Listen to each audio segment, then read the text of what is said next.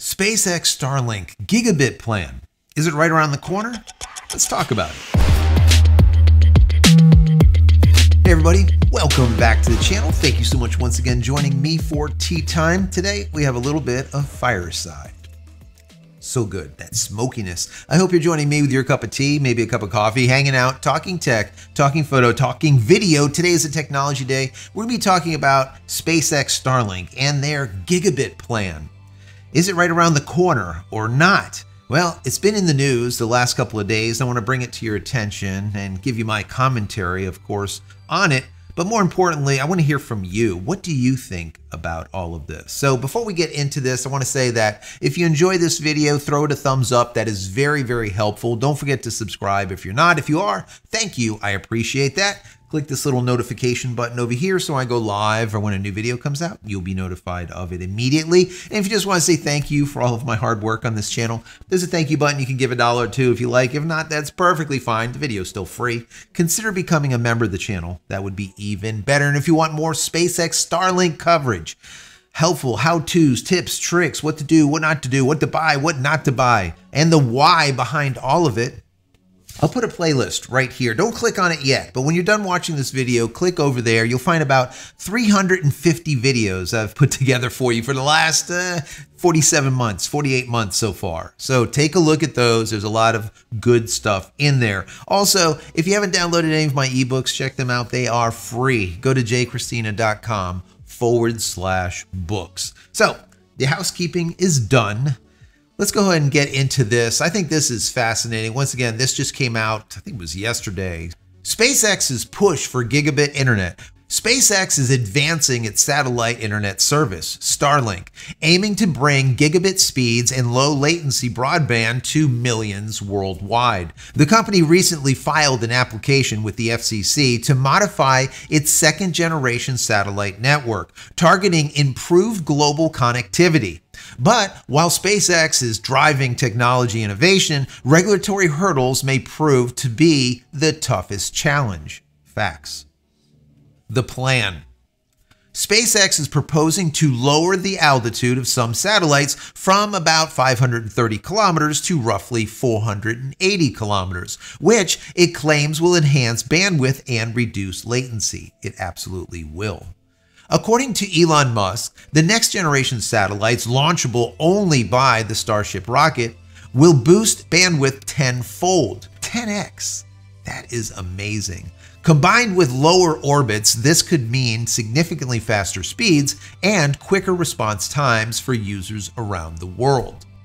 Performance on the rise. Starlink has rapidly evolved since its launch, delivering high-speed broadband across various regions. Currently, users are seeing speeds ranging from 25 to 220 megabits per second, with the majority achieving above 100 megabits per second and an upload speed between 5 and 20 megabits per second. Latency averages between 25 and 60 milliseconds on land. The planned upgrades are aimed to raise Starlink's capabilities to gigabit speeds, 1000 megabits, making high performance broadband more accessible than ever. Technical upgrades and spectrum flexibility. Among the proposed changes, SpaceX plans to lower the satellite's elevation angle to 20 degrees, extending the duration of connection to the ground stations and enhancing overall connectivity. The next generation satellites will incorporate cutting edge hardware, including high gain antennas and advanced digital processing, to deliver more precise and reliable coverage. Additionally, SpaceX is seeking FCC approval for flexible use of Ka, V, and E spectrum bands, allowing the network to seamlessly support both mobile and fixed satellite services, crucial for addressing the diverse and growing needs of consumers and businesses businesses alike. Navigating regulatory hurdles. Is there more to the story? Approval, however, isn't guaranteed. The FCC has been cautious of SpaceX's plans, citing potential interference issues with other operators. In 2022, the agency even denied SpaceX an $886 million grant for broadband expansion, questioning whether Starlink could consistently meet required speeds and latency standards. Of course they can. some suggest the resistance may extend beyond technical concerns. Absolutely. Traditional telecom companies hold significant sway in Washington, and the idea that lobbying and corporate interest are influencing regulatory decisions isn't far fetched. With added scrutiny from the FCC and the FAA and other regulatory bodies, it's clear that bureaucratic hurdles are creating roadblocks and slowing down the path to approval. Absolutely the case. What's at stake? If SpaceX secures FCC approval for these updates, it could overcome the capacity limitations that SpaceX has faced, bringing gigabit speed broadband closer to reality. The company needs to prove that these modifications won't disrupt other networks while seeking flexibility for an expanding user base. As competition in satellite broadband heats up, SpaceX navigates both technical and regulatory challenges. The stakes are high. Will SpaceX establish a new standard for satellite internet, or will bureaucratic hurdles hinder its progress? Great question. The world is watching as SpaceX's Starship prepares to launch the next generation Starlink satellites into orbit. The up and coming version 3 satellites, larger and 10 times greater capacity than the current version 2.0 mini satellites, are expected to enhance performance significantly. This capability could be a game changer, not just for SpaceX's ambitions beyond Earth, but also for transforming global connectivity as we know it. Great article. So, there's a few things that I want to say here. Number one, Elon Musk has said that he wants to see latency below 20 milliseconds, right?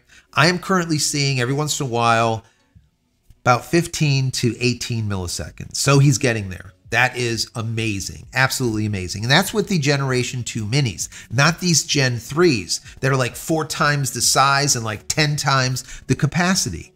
These are gigabit monsters.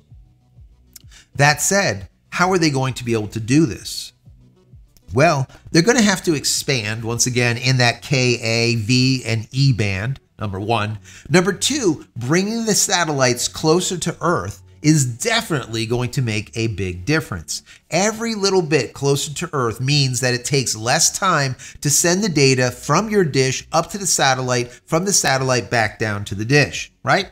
It just simply is math. The closer you get, the faster the speeds. But there is some side effects in doing so. And these are the things that SpaceX have to address. Number one, as those satellites get closer to Earth, that means that they're going to experience greater gravitational pull, meaning that it's going to take more thrust or more energy more capacity or more volume of fuel to keep those satellites at a operational altitude so their life expectancy most likely will be lowered. Also, being closer to Earth has another problem to it. Number one, the cone where that frequency is going out is going to be smaller, meaning that each satellite will be able to service less people. So you need more satellites to cover the same number of people. Does that make sense? If you have a cone that looks like this, as you get further out, the cone actually strikes wider, right? more people are covered. But as you get closer, that cone gets tighter, meaning that you don't get as many people for each satellite as they're coming by. Once again, needing more satellites. So we need more fuel, we need more satellites. But what do we get? We're getting gigabit speeds. And I really do believe gigabit speeds are right around the corner. Now that we see Starship just doing its thing, the last IFT 5 was absolutely just incredible. Watching the Super Heavy come back and land in the Mechazilla, the chopstick arms, was just unbelievable. Absolutely without words. Unbelievable.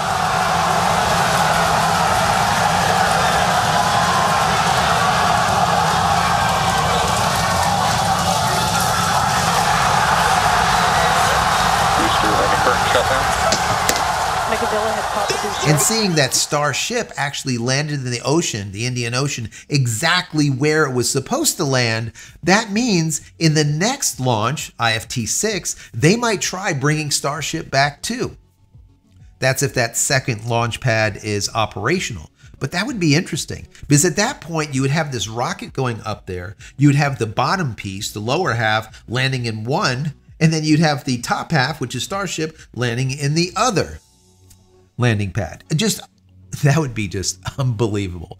Unbelievable. So I really do think that gigabit speeds are right around the corner. I would estimate by the end, eh, maybe mid of 2025, let's say six months from now, eight months from now, I think we will see gigabit speeds. It could be even faster. It really depends on the deployment of these new generation 3 satellites. If they can actually get Starship to start delivering those satellites into space, these satellites have been around for a while. They were going to be called version 2s. Then they couldn't release them because they were too damn big, and Starship was, let's say, delayed. So they made the version 2 minis, which are definitely faster than the version 1.5s, but they're not as fast as the version 2s. So the version 2s, the old version 2s, will now be called version 3.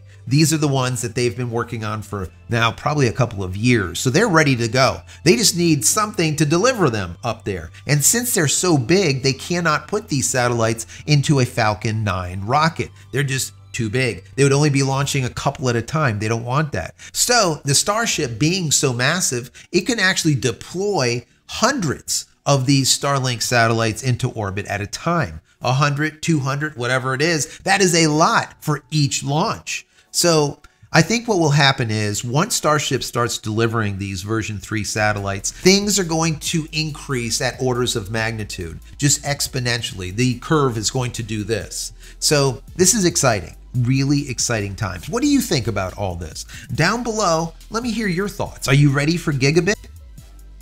I am. That would be fiber coming from the stars. Absolutely craziness. Crazy.